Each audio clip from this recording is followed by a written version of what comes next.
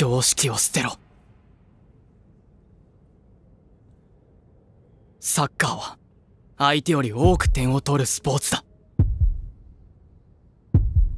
世界一のエゴイストでなければ世界一のストライカーにはなれない。己のゴールを何よりの喜びとし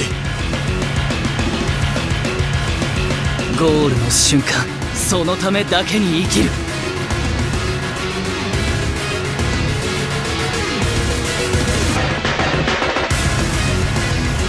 それがストライカーでしょ。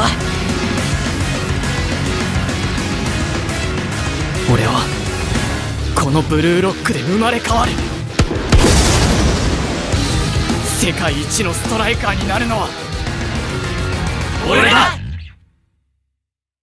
テレビアニメ「ブルーロック」2022年放送。